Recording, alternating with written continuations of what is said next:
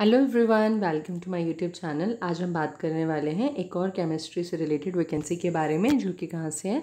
C S I R C S I O that is your central scientific instruments organisation under council of scientific and industrial research sector thirty C Chandigarh you can see the official website है advertisement number twenty slash two thousand twenty one इस चीज़ के लिए filling up of temporary position and preparing a wait listed panel for the future requirements against sponsored R and D projects अब जो हमने main बात करनी है, उसमें ये है कि आपके पास जो फॉर्म है, वो कैसे अप्लाई करना है, क्या लास्ट डेट इसकी रहने वाली है। तो आपको जो ये फॉर्म है, ये रिक्रूटमेंट लिंक जो C S I R C S I O की वेबसाइट पर भी मिल जाएगा और नीचे डिस्क्रिप्शन बॉक्स में भी आपको ये लिंक मिल जाएगा। यहाँ पर आपको अपने जो भी डॉक्यूमेंट्स हैं, इसको एक कंबाइंड पीडीएफ फॉर्म में बना के अपलोड करने होंगे। इसमें क्या क्या चीज़ आपने इंक्लूड करनी है? आपके पास एजुकेशनल क्वालिफिकेशन के certificates starting from tenth plus two B S C M S C and so on experience है तो एक्सपीरियंस आपने एड ऑन करना है. डेट ऑफ़ बर्थ का आपको कोई भी प्रूफ यहाँ भेजना पड़ेगा. कैटेगरी कोई भी आप रिज़र्व कैटेगरी से हैं तो कैटेगरी का सर्टिफिकेट यहाँ पर आपको एक पीडीएफ फॉर्म में कंबाइन इनको बना के सेंड करना पड़ेगा. कब? लास्ट डेट है सेवनटीन ऑफ़ जून इससे पहले पहले आपको इसको भेजना पड़ेगा. लास्ट डेट के, लास्ट डेट के टाइम पे ये फाइव पीएम पे लिंक डिजेबल हो जाएगा तो आप कोशिश करो इसको जितना जल्दी हो, उतना जल्दी सेंड कर दो। कोई भी हार्ड कॉपीज़ आपने ऑफ़िस में नहीं भेजनी है, ये जो जॉब है, ये कॉन्ट्रैक्ट या टेम्प्रेरी बेसिस पे आपके पास है, ये एक एक्चुअली एक प्रोजेक्ट बेस्ड जॉब है। जैसे ही वो प्रोजेक्ट ख़त्म हो जाएगा, वो जॉब आपकी फिनिश हो जाएगी। अब वो डिपेंड करता है आपकी परफॉर्मेंस क्या रही है, उनको और नीड है या नहीं, वो एक्सटेंड भी हो सकती है चीज़ भी मेंशन की गई है। टेंटेटिव डेट्स की अगर हम बात करें तो ऑनलाइन एप्लीकेशंस को फिल करने की जो लास्ट डेट है आपके पास, हमने जैसे बात करी seventeen of June two thousand twenty one tentative date for the display of result of screening process जिसमें आपको ये बताएँगे कि कौन कौन से स्टूडेंट जो हैं शॉर्ट लिस्ट हुए हैं। जैसे ही लास्ट डेट आएगी, उसके थ्री टू फाइव डेज़ बाद ये आपके पास प्रोसीजर ये आपको बता देंगे कौन से स्टूडेंट्स जो हैं शॉर्ट लिस्ट हुए हैं। नेक्स्ट है tentative date for holding online interviews जो शॉर्ट लिस्ट होंगे, उनका फिर ऑनलाइन इंटरव्यू होगा। जैसे ही शॉर्ट लिस्ट कैंडिडेट्स के आपको नोटिस मिलेगा, उसके तीन से पाँच दिन बाद आपके पास इंटरव्यू हो जाएगा।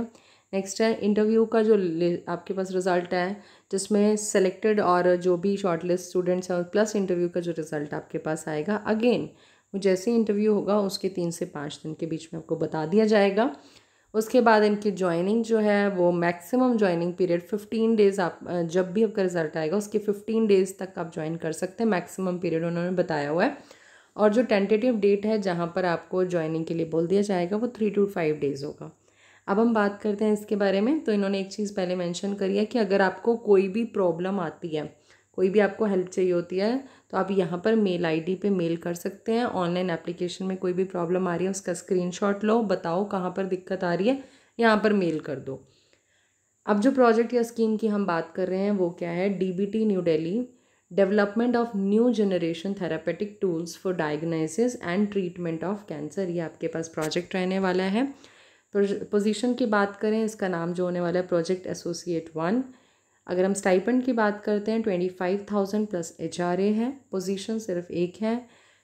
जो टाइम पीरियड रहने वाला है प्रोजेक्ट का टेंटेटिव है वन ईयर है एक्सपेंड हो सकता है एक्सटेंड हो सकता है ये टाइम पीरियड डिपेंड करता है कि आपकी परफॉर्मेंस क्या रहती है। असेंशियल क्वालिफ़िकेशंस की अगर हम बात करें एमएससी जिसमें ऑनर्स एमएससी केमिस्ट्री ऑनर्स या ऑर्गेनिक केमिस्ट्री या फार्मास्यूटिकल साइंसेस ये आप अप्लाई कर सकते हैं। डिज़ायरेबल की बात करें तो ऑर्गेनिक सिंथेसिस की नॉलेज होनी चाहिए chromatography analytic techniques like N M R mass H P L C M S Word आपको आना चाहिए एक्सेल पावर पॉइंट मीन्स आप यूज़ टू होने चाहिए इन सब चीज़ों के। लास्ट जो आपके डेट ऑफ़ एप्लीकेशन के अकॉर्डिंग जो अपर एज लिमिट है वो थर्टी फाइव ईयर्स होनी चाहिए। उसके बाद आपको बोला गया है कि आप इन चीज़ों को ध्यान से देखिएगा और जो भी स्टूडेंट्स की मान लो जब लास्ट डेट है, तब तक भी रिज़ल्ट नहीं आया है तो वो एप्लीकेबल यहाँ पर नहीं है। इसके बाद कुछ इंपॉर्टेंट पॉइंट्स इन्होंने आपको बताए हैं।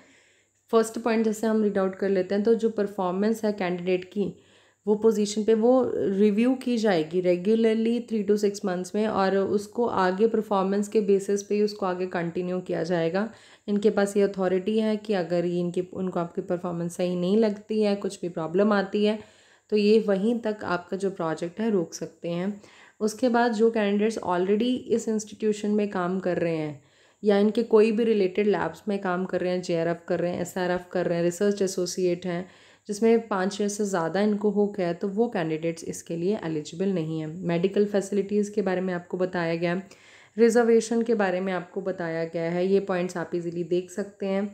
उसके बाद यहाँ बताया हुआ है कि ज्वाइन करना आपने विद इन फिफ्टीन डेज़ जहाँ से ही आपको अपॉइंटमेंट का ऑफ़र आता है, उसके बाद जो है आप नहीं ज्वाइन कर पाएँगे।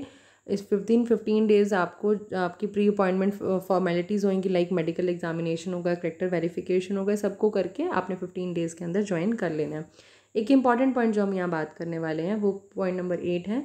The selected candidates will have to deposit an amount which is equal to fifteen days stipend as a security deposit with C S I R C S I O at the time of joining जो भी selected candidates हैं, जो वो join होंगे तो उन्होंने क्या करना है? आपके पास जो फिफ्टीन डेज़ का स्टाइपन बनता है, उसको एज अ सिक्योरिटी वहाँ पर डिपॉजिट कराना है और वो आपको रिफ़ंड भी हो जाएगा बट ज्वाइनिंग के टाइम पे आपको इसको डिपॉजिट कराना पड़ेगा। बाकी पॉइंट्स जो हैं, आप उसको इजीली देख सकते हैं रीड आउट कर सकते हैं। ये जो एडवर्टीज़मेंट है, इसका लिंक और एप्लीकेशन फॉर्म का लिंक आपको नीचे डिस्क्रिप्शन बॉक्स में मिल जाएगा। Stay tuned with my YouTube channel for more such videos. If you like this video, click on the like button. If you find this video useful, then subscribe to the channel and share with your friends.